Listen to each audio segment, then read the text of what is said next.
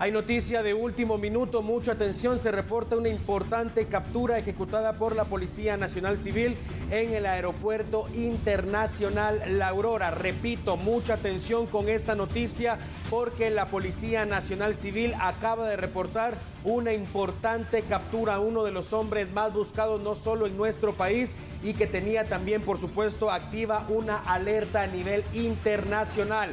La Policía Nacional Civil acaba de dar con su paradero en el Aeropuerto Internacional La Aurora en zona 13 de la capital guatemalteca. Ya le contamos de quién se trata y por qué ha sido arrestado.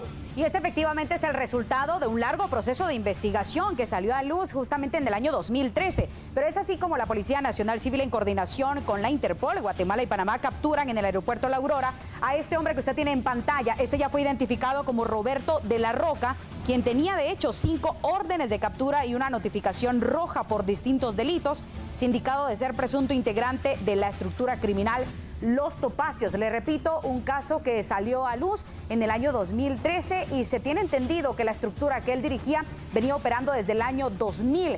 Así que Los Topacios, el caso Los Topacios, empieza a dar un giro diferente.